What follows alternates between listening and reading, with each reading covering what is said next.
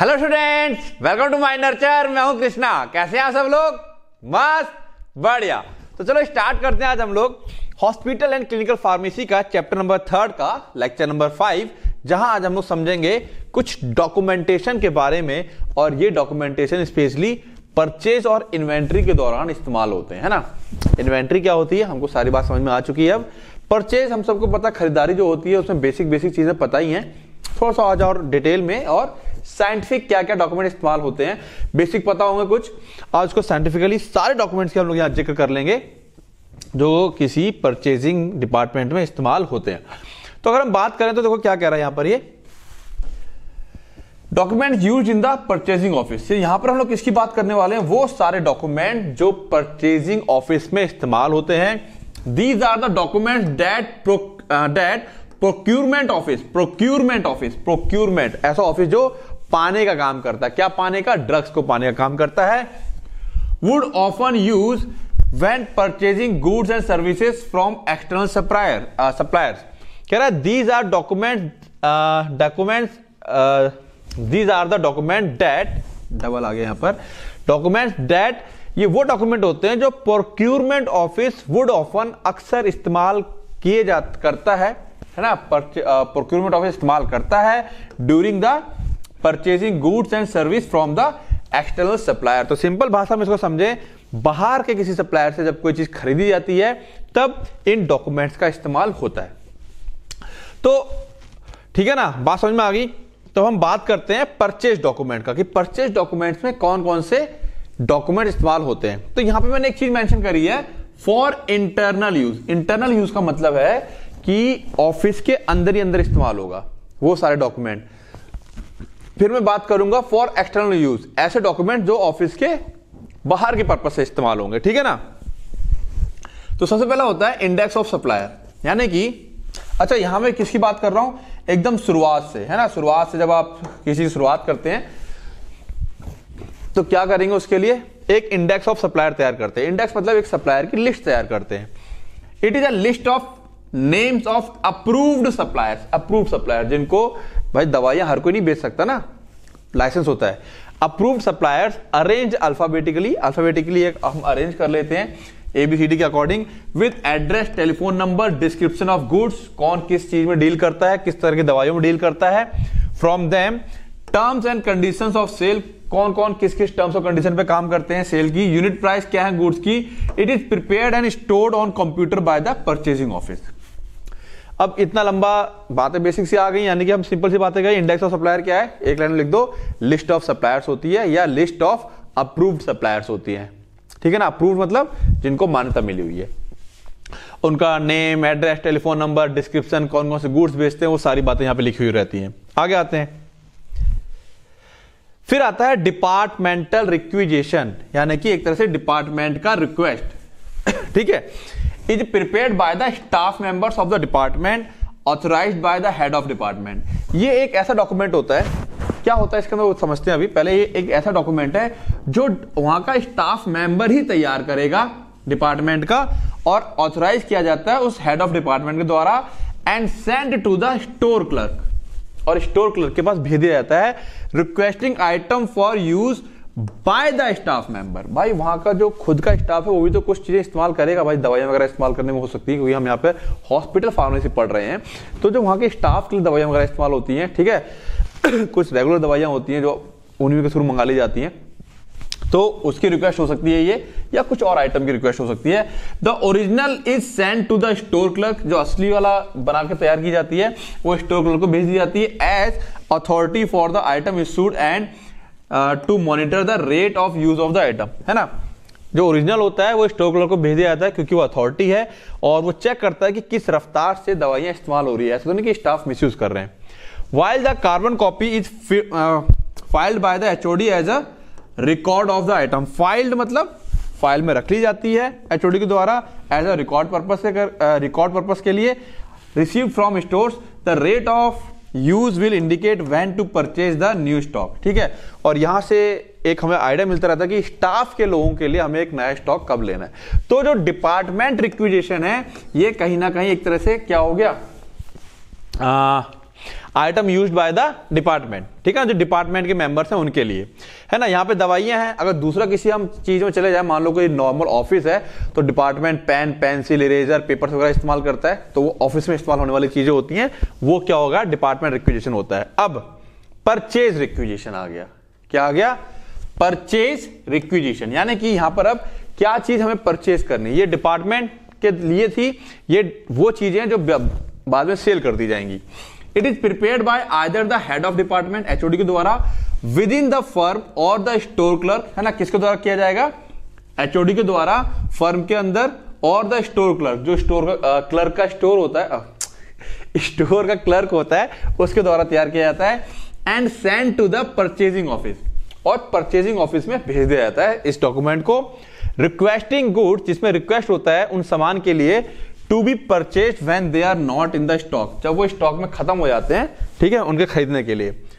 यहाँ तक लिख के छोड़ सकते हो, या when a new item is required या किसी नए आइटम की जब ज़रूरत होती है तो उस टाइम पे भी परचेज रिक्वेजिशन तैयार करके भेजा जाता है। The original is send to the purchasing office जो असली एक डॉक्यूमेंट होता है ओरिजिनल वो परचेजिंग ऑफ़िस में भेजा भेजा जाता है। So it can order the item जिससे कि आइटम को ऑर्डर किया जा सके। एंड द कार्बन कॉपी ये कॉपी है is filed by the HOD carbon copy को क्या करेगा? एचओडी फ़ाइल करके अपने पास रख लेगा और स्टोर क्लर्क अपने पास रख लेगा एज ए रिकॉर्ड के तौर पे of item requested from the purchasing office की कौन कौन से आइटम रिक्वेस्ट किए गए हैं। बात समझ में आ रही है? तो थोड़ा सा डिफरेंस रहेगा। इंडेक्स ऑफ़ सप्लायर हो गया डिपार्टमेंटल रिक्वेजिशन हो गई डिपार्टमेंट के द्वारा डिपार्टमेंट के लिए। परचेज रिक्वेजिशन ठीक है? ये रिक्वेस्ट की जा रही है जो हमारे स्टॉक में चीज़ें खत्म हो गई हैं। देन परचेज ऑर्डर अब एक ऑर्डर तैयार कर दिया जाएगा।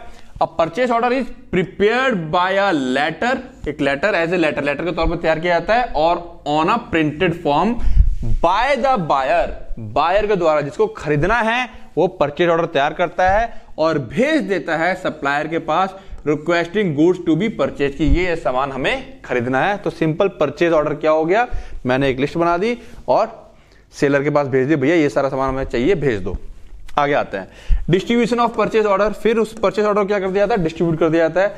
क्लर्क के पास हर जगह जहाँ जहाँ पर उसकी फ़ाइल लगनी होती है कॉपी लगनी होती है डिस्ट्रीब्यूट कर दिया जाता है। गुड्स रिसीव नोट उसके बाद सामान वहाँ से आएगा, कहाँ से? सप्लायर की तरफ़ से, वो goods receive note good received note receive मतलब पा लिया गया is prepare by the store clerk भाई, जो स्टोर क्लर्क होगा, उसने देखा हाँ सारा सामान आ गया, वो साइन करेगा, एक नोट बना देगा कि हाँ सामान प्राप्त कर लिया गया है। To report the arrival of the good जिससे कि उसको फिर वो भेज देगा पूरे ऑफ़िस में कि हाँ ये सामान प्राप्त कर लिया गया है तो वो इंफॉर्मेशन पहुँच जाती है। Now distribution of goods receive note अब जो, क्या होगा, जो गुड रिसीव नोट है, उसको डिस्ट्रीब्यूट कर दिया जाता है। ठीक है गुड्स रिसीव नोट एक नोट है जो कि स्टोर क्लर्क ने बनाया है, फिर उसको क्या कर दिया जाता है डिस्ट्रीब्यूट कर दिया जाता है। भाई, पता भी तो चले, सभी अथॉरिटी को, कि ये सामान आ चुका है। क्लियर है? तो ये तो होगी बातें जो ऑफ़िस के अंदर चल रही हैं। अब हम थोड़ा सा लेते हैं उन बातों को। कुछ और डॉक्यूमेंट्स हमारे पास। Purchase document for external use external use से क्यों कहा मैंने यहाँ पर? एक्सटर्नल यूज़ का मतलब यह है कि ऑफ़िस के अंदर ही इस्तेमाल होती है, बनते ऑफ़िस के अंदर ही, लेकिन यहाँ से देखो बात समझ में आएगा। रिक्वेस्ट फॉर इंफॉर्मेशन यहाँ पर तुम किसी को भेज रहे हो। इन्फॉर्मेशन भाई बताओ तुम्हारे पास क्या क्या माल है, किस रेट में दोगे, भेजो भेजो इन्फॉर्मेशन भेजो। तो तुमने ये डॉक्यूमेंट किसी को भेजा, इसीलिए मैंने यहाँ लिखा है फॉर एक्सटर्नल यूज़ जिससे कि सारे डॉक्यूमेंट तुम्हारे दिमाग में क्लियर कट सेट हो जाए। तो request for information an R F I request for information is a formal process एक ऑफिशियल प्रोसेस फॉर्मल प्रोसेस होती है for gathering information from potential supplier potential मतलब जो लोग सप्लाई कर सकते हैं है ना? ऐसा थोड़ा ना कि किसी को भी दे दो। वो फिर कहीं और भटक रहा है, जिसके पास वाकई माल है। पोटेंशियल सप्लायर ऑफ़ गुड्स और service R F I are intended to be return by customers and send to the potential supplier ठीक है? ये रिटर्न किया जाता है, लिखा जाता है कस्टमर्स के द्वारा। कस्टमर मतलब एक तरह से जो हम खरीदेंगे और सप्लायर को भेजा जाता है। ठीक है? तो आर क्या है? रिक्वेस्ट फॉर इंफॉर्मेशन यहाँ पे फुल फॉर्म बड़े काम की चीज़ रहेगी। रिक्वेस्ट फॉर इंफॉर्मेशन ठीक है ना? कि इंफॉर्मेशन के लिए कि है ना, हम लोग कहीं पे या तो कई बार हम लोग फ़ोन से बात कर लेते हैं, लेकिन जब बहुत बड़े लेवल पे बात चलती है तो पूरा एक भेजा जाता है परफॉर्मा कि भैया बताओ, ये सब चीज़ें हमें मंगवानी है, अब बताओ इसका क्या रहेगा सीन ठीक है ना? सारे आइटम्स वगैरह की लिस्ट मंगाई जाती है कि आप क्या क्या देते हो कैसे कैसे देते हो। Now request for proposal R F P और request for proposal is an open request for bids to complete a new project propose by the company और other organization that issues it ठीक है? तो कह रहा है request for proposal is an open request for bid एक open request होती है, एक तरह से नीलामी के लिए। ओपन कि हाँ आओ भैया, सब लोग बुरी लगाओ। है ना? रिक्वेस्ट फॉर प्रपोजल उसको ही बोला, उसको भैया, सब बताओ, हमको ये माल चाहिए, बताओ कितने कितने में दोगे? तो एक ओपन रिक्वेस्ट है बिट्स बोली लगाने के लिए to complete new project new project का मतलब है, जो माल आप खरीदने वाले हो बाय द कंपनी और अदर ऑर्गेनाइजेशन डेट जो कि इसको इशू कर रहा है। ठीक है? जो इसको इशू कर रहा है, इस प्रपोजल को जो इशू कर रहा है। It is mean to open up competition and to encourage a variety of alternative proposal that might be considered by the project planner ठीक है? तो यहाँ पर सीधी सी बात है कि हम क्या चाहते हैं कि कॉम्पिटिशन खुला रहे। जब चार लोगों से बोलियाँ आएँगी तो सब लोग कम रेट पर लगाना चाहेंगे कि माल हमारा बिक जाए। है ना? तो कॉम्पिटिशन रहेगा एक यहाँ पर। आगे आते हैं। रिक्वेस्ट फॉर कोटेशन प्रपोजल आ गया भाई। कौन कौन आ रहा है? अब quotation a request for quotation is an is a business process in which a company और public entity request a quote from supplier for the purchase of specific product और सर्विस तो यह सिंपल क्या कोटेशन में? ये बात हम पहले भी कर चुके हैं। कोटेशन में क्या होता है? कि आप भैया बताओ। ठीक है? अब प्रपोजल आ गया कि कौन कौन हमको माल देगा। हम हम हम सबने कहा, हम देंगे हम देंगे हम देंगे। अब भैया कोटेशन दो सब लोग अपनी अपनी। तो माल एक कोई एक लाख में दे रहा है, कोई एक लाख, एक हज़ार में दे रहा है, कोई एक लाख पाँच हज़ार में दे रहा है, कोई पचानवे हज़ार में दे रहा है वही माल को, है ना? तो रिक्वेस्ट फॉर कोटेशन आ गया। Now invitation for bids and I F B differ from a request for proposal ठीक है इन्विटेशन फॉर बिड एक तरह से देखा जाए यहाँ पर यह है प्रपोजल ये कहीं ना कहीं एक जैसे लगेंगे कि कौन कौन हमें माल दे रहा है, बताओ भैया प्रपोजल ठीक है, अब यह इनविटेशन फॉर बोली लगाने के लिए इनविटेशन एक तरह से इसका अगर भाषा समझे हम लोग कि बोली लगाने के लिए क्या चाहिए? इनविटेशन दिया जा रहा है कि आओ बोली लगाओ. ठीक है तो क्या रहा है? I have differ from request for proposal in that the objective is to obtain contractors proposals concerning the cost to complete the project with less emphasis on the bidders introducing its own idea. ये यहाँ पर main चीज़ है। तो क्या कह रहा है? IFB differ है किससे? रिक्वेस्ट फॉर प्रपोजल से। किस तरीके से in that the objective is to obtain contractors proposal concerning the cost to complete the project with less emphasis invitation to bid में क्या है? आप केवल कॉस्ट बताइए। बाकी हम देख लेंगे। लेकिन प्रपोजल में क्या रहता है? देखो क्या बोल रहा है। Less emphasis on the bidders introducing its own idea proposal में क्या रहता है? जो प्रपोज करने वाला है, जो बोल रहा है, वो अपना आइडिया भी दे सकता है साथ साथ में। कि भाई ऐसे ऐसे करो, ऐसे ऐसे करो। लेकिन नहीं इन्विटेशन तो बिड में केवल आप बोली लगाएँगे, उसके अलावा आप कुछ नहीं कर सकते। तो बहुत बारीक सा डिफरेंस है, बाद देखा जाए तो एक तरह से सेम है। ठीक है? For how to complete a project और परफॉर्म द सर्विस है ना? उसमें प्रपोजल में वो बताएगा कि हम ऐसे ऐसे करेंगे, ये करेंगे, आप ऐसा करेंगे तो ऐसा कर सकते हैं, ये वो करके। इन्विटेशन बिड में कुछ नहीं, तुम बोली बताओ। ठीक है? ये थोड़ा सा डिफरेंस आता है। Now request for bid R F B request for bid means an offer made in response to a solicitation to perform a contract for service labour और सप्लाई गुड्स और material at a specific price ठीक है request for bid क्या हो गया? Means an offer एक offer है made in response to a solicitation to perform a contract for service ठीक है ना? तो रिक्वेस्ट फॉर बिड देखो यहाँ पर कुछ चीज़ें ना तुम लोगों को क्या लगेंगी? एक जैसी मालूम पड़ेंगी। ठीक है बिड इनविटेशन फॉर बिड तो यहाँ पर एक बहुत ही बेसिक सा डिफरेंस तुम्हें दिमाग में रखना है। डिफरेंस क्या है? यहाँ पे चीज़ ध्यान रखना कि request for bid invitation for bid ठीक है? और ठीक है रिक्वेस्ट फॉर बिड आ गया इन्विटेशन फॉर बिड आ गया। ठीक। तो इसमें थोड़ा सा ये इनविटेशन है, ये रिक्वेस्ट है। तो देखो, यहाँ पर क्या है? चीज़ों में कंफ्यूज मत कर जाना। ये मैं बताना चाह रहा था कि दोनों बीट बीट करके हैं इनविटेशन और रिक्वेस्ट इनविटेशन हो गया इनवाइट करना और रिक्वेस्ट एक तरह का रिक्वेस्ट हो गया। आप किसी से रिक्वेस्ट कर रहे हैं। इनवाइट आप किसी को इनवाइट कर रहे हैं रिक्वेस्ट में आप कुछ काम करने के लिए कह रहे हैं, ठीक है ना? तो request for bid mean an offer made in response to a solicitation solicitation मतलब एक तरह से जो आपने अनुरोध किया है, आपने जो प्रार्थना की है to perform a contract for service तो यहाँ पर भी एक तरह का डॉक्यूमेंट बनकर तैयार हो जाता है, ठीक है?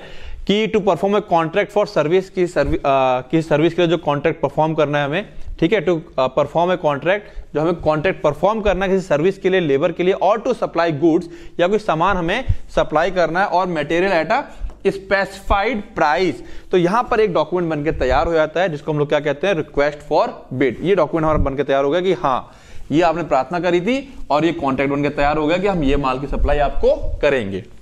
नाउ परचेज ऑर्डर अब purchase order is a commercial document जो हमने ऊपर डिस्कस किया था, वही सेम चीज़ है। एंड फ़र्स्ट ऑफिशियल ऑफ़र ये सबसे पहला ऑफिशियल रिटर्न होता कि हाँ ये ऊपर के तो क्या चल रहा था? कि हाँ आओ, बताओ कौन कितने माल देगा, क्या वगैरह वगैरह वगैरह। इधर हमारा ये रिक्वेस्ट फॉर बिट एक कॉन्ट्रैक्ट साइन हुआ। फिर यहाँ पर क्या हुआ? परचेज ऑर्डर बायर की तरफ़ से सेलर को भेजा जाता कि भाई, भेजो अब ये। ये माल सारा सेट हो गया, इस प्राइस पे तुमने कहा है, अब हमको माल भेजो। फिर नेक्स्ट चाहे तो कॉन्ट्रैक्ट और एग्रीमेंट कर सकते हैं कि भाई ठीक है, हम तुमसे अगले एक साल के लिए, दो साल के लिए कॉन्ट्रैक्ट कर लेते हैं तो हमको माल भेजते रहोगे। ठीक है? इस तरह का एक डॉक्यूमेंट बन सकता है। एक अगला डॉक्यूमेंट बन सकता है सेलर्स प्रपोजल ये इतने इंपॉर्टेंट नहीं है ये ऊपर वाले कुछ थे, ये ज़्यादा इंपॉर्टेंट है। ठीक है? सेलर प्रपोजल क्या है? Seller proposal is a formal response from seller to और रिक्वेस्ट फॉर प्रपोजल और अदर प्रोक्यूरमेंट डॉक्यूमेंट एक तरह का सेलर की तरफ़ से जो बेचता है, उसकी तरफ़ से एक फॉर्मल रिस्पॉन्स होता है। फॉर्मल मतलब एक रिटर्न में डॉक्यूमेंट रहेगा जो सेलर की कंपनी या फर्म की तरफ़ से जाता है। जो प्रोक्यूरमेंट डॉक्यूमेंट आया था कि हाँ किसी को ये सब चीज़ें चाहिए, उसकी, उसके रिस्पॉन्स में दिया जाता है, जिसमें specifying the price commercial terms of sale की किस कंडीशन में वो सामान बेचेगा एंड टेक्निकल स्पेसिफिकेशन और capabilities the seller will do for the requesting organization ठीक है? एंड टेक्निकल एंड स्पेसिफिकेशंस ठीक है? यहाँ पे आते फिर से। कॉमर्शियल टर्म्स जिसमें क्या क्या स्पेसिफाई करता है? Price commercial terms of sale technical specification कि टेक्निकली क्या क्या चीज़ें सपोर्ट कर सकता है? Capabilities the seller will do वो सारी कैपेबिलिटी जो सेलर करेगा फॉर द रिक्वेस्टिंग ऑर्गेनाइजेशन ठीक है ना? जिस ऑर्गेनाइजेशन ने रिक्वेस्ट किया है इफ़ एक्सेप्टेड अगर वो एक्सेप्ट करता है ये सब चीज़ें would bind the seller to perform the resulting agreement और अगर वो चीज़ें उसे बंध जाते हैं, फिर वो सेलर वो सारे काम करेगा उस एग्रीमेंट के तहत within the project management जब तक वो प्रोजेक्ट चलता रहेगा एक तरह से, उसके तहत ये सारे काम ये करता है तो एक तरह का सेलर प्रपोजल रहता है, ठीक है ना, कि मैं ये सारी चीज़ें करके आपको दूँगा। तो ये एक सेलर प्रपोजल होता है, ठीक है, कि मैं ये सारी फैसिलिटी आपको एक्स्ट्रा दे सकता हूँ दूसरे के मुकाबले। तो यहाँ पर कुछ कुछ नहीं है, कुछ खास खास टर्म्स हैं एक एक लाइन में समझ लेना है। इनको और सिंपल भाषा में ठीक है ना? जिन लोगों को थोड़ा सा इंग्लिश में इशू है, इसको चाहो तो टाइप करेंगे तो हिंदी आ जाएगा तो कोशिश करो एक लाइन में। जैसे कि छोटा सा उदाहरण देता हूँ, मान लो रिक्वेस्ट फॉर कोटेशन और request for quotation is a business process in which company और public entity request a quote from supplier इसको सिंपल कर लो। ठीक है ना? यहाँ पर लिखो कि यहाँ पर जो सप्लायर होते हैं, वो अपना कोट सेंड करते हैं। ठीक है? किसी प्रोडक्ट का। क्या लिख दो यहाँ पर? In this for the supplier send its quote, send its quotation. भाषा सिंपल कर लोगे, ठीक है ना? मतलब समझ में आ गया है? तो भाषा को सिंपल कर लोगे, मैंने एग्जैक्ट जो डेफिनेशन होती है टेक्निकल डेफिनेशन वो लिखी हुई है। क्लियर है बातें? तो हिंदी में समझते चलो, भाषा को सिंपल करते चलो। हमारा मुद्दा वहाँ पर एग्जैक्ट लिखना नहीं है। हमारा मुद्दा केवल ये है कि इसका मतलब क्या है? हम कुछ ऐसा लिखें कि टीचर समझ जाए कि हाँ इसका मतलब ये है और बच्चे को पता है। नंबर उसी चीज़ के मिलते हैं कि बच्चे को चीज़ें पता है। आपने यही लैंग्वेज लिखी है, इस चीज़ का नंबर नहीं मिलेगा, ठीक है? तो बिल्कुल रटने की कोशिश ना करें, समझ करके अपनी भाषा में लिखने की कोशिश करें, जिसको, जिसके लिए मैं हमेशा फोर्स करता हूँ। नेक्स्ट आते हैं हमारे पास इन्वेंट्री डॉक्यूमेंट अब हमारे पास स्टॉक रखा हुआ है। स्टॉक है ना इन्वेंट्री अब हम उसके बारे में बात करेंगे। ये सारा परचेजिंग का खेल हो गया अपना। ना स्टॉक रिक्विजेशन जब स्टॉक खत्म हो जाएगा तो हम स्टॉक की रिक्वेस्ट करेंगे, भैया स्टॉक खत्म हो गया है स्टॉक दो हमें। अच्छा यहाँ परचेसिंग की बात क्यों नहीं आई? क्योंकि दो चीज़ें हो सकती हैं। मान लो ये मेरा स्टोर है। और, है ना, एक हॉस्पिटल है, ये उसका स्टोर है, ये उसका वेयर हाउस है। इसी हॉस्पिटल का एक बड़ा वेयर हाउस है तो स्टॉक खत्म हो जाएगा तो पहले वो वेयर हाउस से लेगा। खरीदने नहीं जाएगा। पहले वो बड़े गोदाम से उठाएगा। जब बड़े गोदाम में माल खत्म होगा, ये बड़ा गोदाम किसी बड़े सप्लायर से लेगा। यहाँ परचेजिंग होगी। यहाँ परचेजिंग होती है, यहाँ परचेजिंग नहीं होती, यहाँ केवल लिखा पड़ी होती है। क्लियर होगी बातें? ठीक है। तो यह है stock requisition S R the stock requisition form is an inventory form ये एक इन्वेंट्री फॉर्म है। That can be use by organization जो, जिसको कि ऑर्गेनाइजेशन के द्वारा इस्तेमाल किया जाता है to request and restock items जिसमें वो रिक्वेस्ट करता है कि आइटम को रिस्टॉक किया जाए, खत्म हो रहा है इन एन ऑर्गेनाइजेशन किसी ऑर्गेनाइजेशन में। सिंपल सी बात। तो स्टॉक रिक्वेशन क्या हो गया? एक ऐसा फॉर्म है it is a kind of form in which to restock the items in which the request for restocking the items is done वो किया जाता है। This form is design to help help within an organization और business to request for a specific product और item. यहाँ पर वो केवल रिक्वेस्ट करते कि हमारे पास ये आइटम खत्म हो गया है, भेज देगा आगे वो। अब आगे वाले, नहीं होगा, गोदाम से उठाएँगे, नहीं होगा तो खरीदेंगे। वो आगे की बात रह गई। ये बात समझ में आ रही है? यहाँ से केवल उन्होंने क्या भेज दिया? माल खत्म। फिनिश हमको माल दो। आगे पहुँच गया। अब आगे वाले खरीदते हैं या अपना गोदाम से उठा के देते हैं? वो बात की बात है। बात समझ में आई?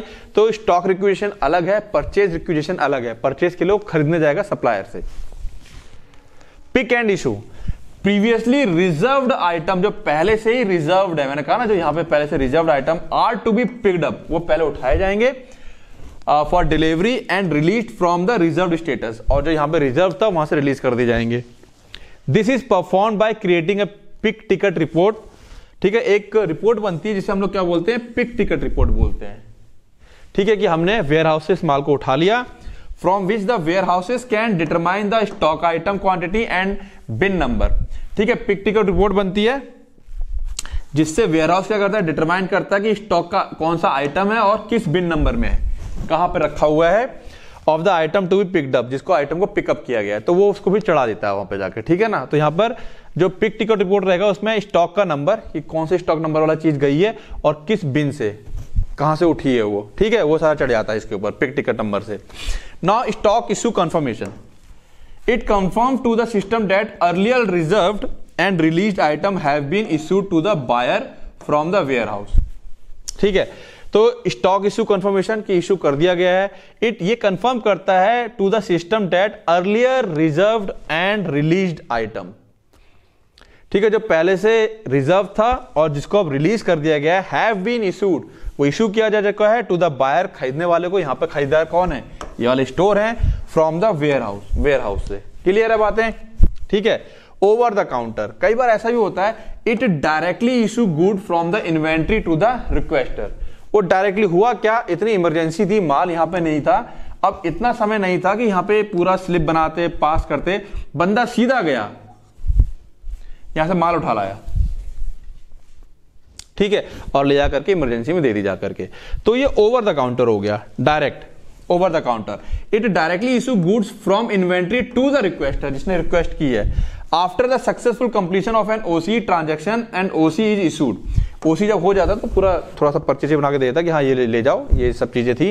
Report will be produced identifying the requester and the stock item issued फिर एक रिपोर्ट बनाई जाती है जिसमें कौन लेने आया था और क्या आइटम दिया गया है, वो बना के दिया जाता है that is over the counter clear है बातें? तो देखो, ये सारी चीज़ें होती है बड़ी बड़ी फर्म में। तभी चीज़ें ऑर्गेनाइज चलती है। हम लोग सोचते हैं ना कि एक बड़ा आदमी जो बिजनेसमैन है, वो एक अपने घर में बैठा है सारी चीज़ें मैनेज हो रही है। एक एक चीज़ की लिखा पड़ी है। ठीक है, और जब गड़बड़ी होती है तो चेक करने वाले एक एक चीज़ को चेक करता है, फिर मिलान करते हैं ये लोग। कहाँ गड़बड़ी होती है उसकी नौकरी खतरे में। आ जाओ। नाउ स्टॉक रिटर्न अब ऐसा भी हो सकता था stock return as an document record item data return to the inventory जो कई बार वापस रिटर्न कर दिए जाते हैं, वो स्टॉक रिटर्न में आता है। इन्वेंट्री एडजस्टमेंट अब इसमें एडजस्टमेंट में वही था, हुआ क्या था? जैसे कि मैंने यहाँ बताया था कि एक बंदा गया डायरेक्ट माल उठा लाया। अब वो जो माल उठा के लेके आया, वो कंप्यूटर में तो चढ़ा नहीं। केवल लिखा पढ़ी हाथ से हो गई। तो कंप्यूटर में ज़्यादा दिखाएगा, लेकिन माल क्या होगा, कम होगा। या कई बार ऐसा होता है, कुछ चीज़ें टूट फूट जाती हैं। है ना? सौ सिरप थे, पाँच टूट गए। एक्चुअल कितने पचानवे। और कंप्यूटर कितना दिखा रहा है? सौ। तो ये है इन्वेंट्री एडजस्टमेंट है ना? देखो, ये जो बात मैं समझा दे रहा हूँ, इसी को अपनी बातों में मन से बना के भी लिख सकते हो। This is the inventory adjustment inventory adjustment are correction of inventory inventory का करेक्शन और स्टॉक रिकॉर्ड या जो रिकॉर्ड है, उसका करेक्शन होता है to bring them into agreement with the finding of the actual physical inventory जिससे कि जो एक्चुअल फ़िज़िकल इन्वेंट्री मौजूद है, उससे मैचिंग हो जाए। ठीक है? इन्वेंट्री एडजस्टमेंट आर इंक्रीजेज और decreases made in inventory to account for theft increase हो सकता है डिक्रीज हो सकता है। चोरी हो गई हो लॉस हो गया हो, टूट गया हो, कोई गलती हो गई हो, मान लो आए थे पचास, चढ़ गए हो सौ, या आए थे कितने सौ चढ़े थे नब्बे। है ना, कुछ गलतियाँ हो जाती है। एरर इन द अमाउंट और number of the items received तो तुम देख रहे हो, सारी चीज़ें बड़ी नॉर्मल है। लेकिन जब बड़ी बड़ी ऑर्गेनाइजेशन होती है, वहाँ पे हर एक चीज़ लिखा पड़ी होती है वहाँ पर। तो वो सारे कहीं ना कहीं डॉक्यूमेंट बन जाते हैं ये। Physical inventory purchase input the physical inventory purchase input document records adjustment in on hand quantities at the specific unit price ठीक है ना? ये जो ऑन हैंड वाली बात आ गई, ठीक है that is physical inventory purchase input जो ऑन हाथ में दिया गया आइटम डायरेक्ट डायरेक्ट वाली, उसकी बात चल रही है। Stock transfer issue the stock transfer issue initiate the transfer of items from one warehouse to another कई बार क्या होता है? बड़े बड़े गोदाम होते हैं दो तीन तरीके के होते हैं, मान लो, है ना? एक गोदाम तुम्हारा सपोज़ तुम्हारे शहर ए में है, शहर बी में है तो माल यहाँ से उठा करके यहाँ आ गया, यहाँ ज़्यादा कमी थी। तो एक वेयर हाउस और दूसरे वेयर हाउस में that is stock transfer issue now stock transfer receipt अब ये रिसिप्ट आ गई कि हाँ माल पहुँच गया। The stock transfer receipt component receives the stock at the receiving point कि हाँ हमने रिसीव कर लिया है। इंस्पेक्ट करेगा, उसे जांचेगा और रिसीव करेगा स्टॉक को and move it to the respective warehouse और उसको वहाँ पर मूव करवा देगा। This activity permits you to specify the taxes and charges ठीक है, ये बात छोड़ सकते हो यहाँ पर। इसका कोई मतलब नहीं है। हमें केवल इस डॉक्यूमेंट से मतलब था। क्लियर है बातें? तो ये एक एक लाइन की चीज़ें हैं। ठीक है, यहाँ डेफिनेशन यहाँ से बहुत ज़्यादा संभावना है डेफिनेशन या तीन नंबर क्वेश्चन आए और तीन वर्ड लिखे हो define stock issue confirmation pick and issue इस टाइप से क्वेश्चन आने की संभावना रहेगी। क्लियर है? तो बस डॉक्यूमेंट डॉक्यूमेंट थे, यहाँ सारी चीज़ें पढ़ने वाली थी, और ये लेक्चर अपना आज का खत्म हो जाता है, और ये अपना माइंड नर्चर ऐप आ गया। ठीक है ना? तो फिर से कह रहा हूँ, बिना रिवीजन का कुछ नहीं होगा। यहाँ जैसे आज हमने जो टॉपिक पढ़ा या लेक्चर देखा, वहाँ केवल बातें क्या थी? समझने वाली थी और लर्न करने वाली थी। और लैंग्वेज टफ लगे तो उसको अपनी भाषा में तोड़ो। कोई ज़रूरत नहीं है कि बिल्कुल बुक की लैंग्वेज लिखनी है टीचर की लैंग्वेज लिखनी है मेरी लैंग्वेज लिखनी है। क्लियर है? डिस्क्रिप्शन वीडियो के लिंक में दिया हुआ है। ठीक है ना? मेरा नंबर और ये अपना ऐप ठीक है? और सबसे ज़रूरी बात रिवीजन तो रिवीजन करते रहो, पढ़ते रहो। All the best